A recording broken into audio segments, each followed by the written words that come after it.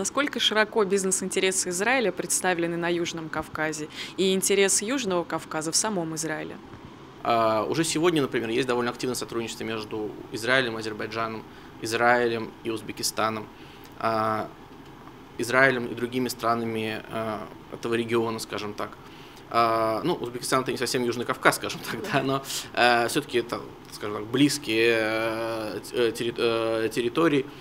И э, Израиль активно работает и э, с российскими республиками Кавказа. Например, э, вот недавно э, было как раз вот по агрос э, сотрудничеству в области агротехнологий подписано соглашение с правительством Чечни, например, буквально несколько, может быть, даже меньше, чем несколько месяцев назад, полтора месяца назад, может быть, да, состоялось. То есть Израиль довольно активно присутствует. На политическом, на экономическом уровне, ну, в России, если мы говорим о конкретных областях, то это экономическое сотрудничество, если говорить странах, там, в частности, Азербайджан как лидер того региона, пожалуй, как наиболее богатая страна того региона, там и политическое, и экономическое сотрудничество в области безопасности.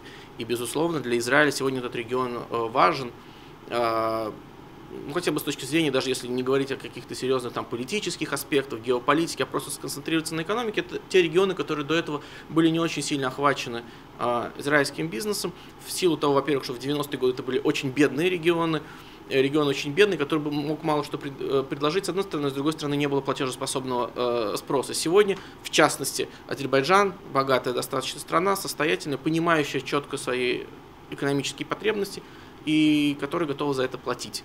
И для Израиля это, безусловно, безусловно интересно.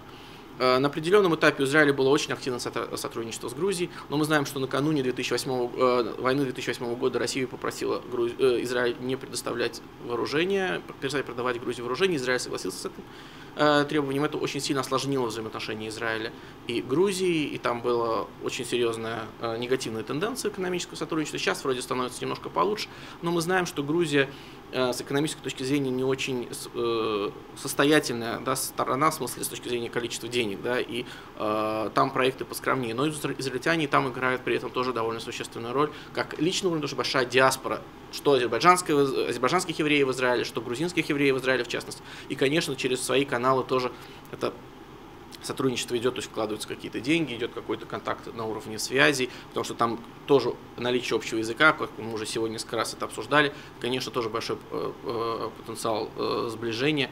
И я думаю, что в целом, если смотреть на регион, то я вижу скорее позитивные какие-то сдвиги и кооперация между Израилем и странами региона, этими странами или, скажем так, территориальными какими-то объединениями, сейчас, да, потому что э, Чечня это не страна, да, но все-таки в том плане, что вот этот регион, я вижу усиление сотрудничества экономического между вот, вот этим регионом и Израилем.